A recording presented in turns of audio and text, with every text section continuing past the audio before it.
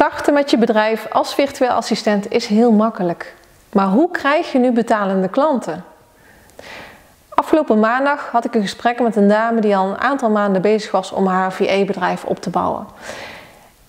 En ze kwam bij mij om te zeggen: Goh, Daniel, ik heb nog steeds geen betalende klanten. Waar uh, mis ik de boot? Nou, naar aanleiding van dat gesprek deel ik graag een paar praktische tips met je. Uh, het ondernemerschap, daar komt veel bij kijken. Maar in de basis zijn er een aantal dingen die heel erg belangrijk zijn om die goed op te zetten. Allereerst je expertise. Wat ga jij doen? waar, waar word jij gelukkig van en waar ga jij klanten mee helpen? Wees heel specifiek in wat je gaat doen. Daarnaast, als je expertise hebt gekozen, kies je je doelgroep. Dus voor wat voor soort klanten wil je werken? Wil je werken met uh, mensen die een online bedrijf hebben? Wil je werken met mensen die uh, lokaal werken? Wil, wil, je werken met mensen die, noem maar op, waar uh, liggen jouw wensen en behoeftes? En wees daarin heel duidelijk. Dus gebruik duidelijke taal. Um, bij duidelijke taal hoort ook een goede pitch. Dus dat betekent dat als je iemand spreekt en die vraagt wat doe je, dat je eigenlijk in een paar korte, krachtige zinnen kan vertellen wat je doet. En dat je met die zinnen de ander triggert om uh, die persoon nieuwsgierig te maken. Dus zorg voor een goede pitch en voor een duidelijke taal. En natuurlijk heb je dan je expertise gekozen, je doelgroep gekozen, je stelt je tarieven vast, afhankelijk van je kennis en ervaring. Um, dan is het heel erg belangrijk dat je niet gaat afwachten, maar zorg voor actie.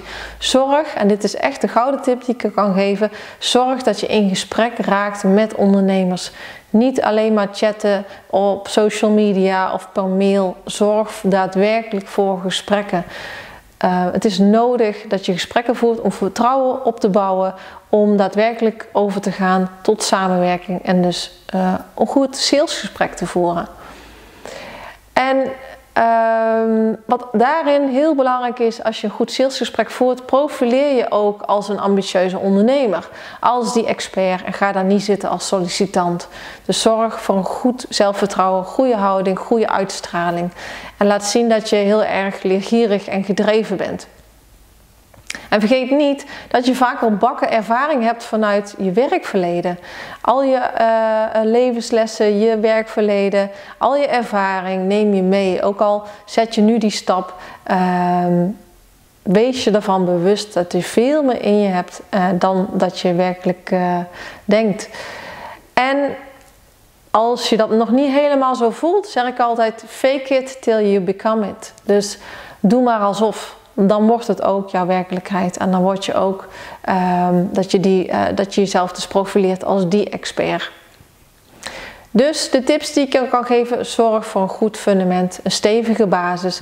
En laat jezelf zien als die ambitieuze, gedreven ondernemer. Die heel leergierig is, die investeert in zichzelf en wil groeien. Dat is de basis voor jouw succesvol bedrijf. Dus ik zou zeggen, heel veel succes en als je vragen hebt of een reactie wil achterlaten, dan eh, zet het even onderaan de blog of stuur mij even een mail.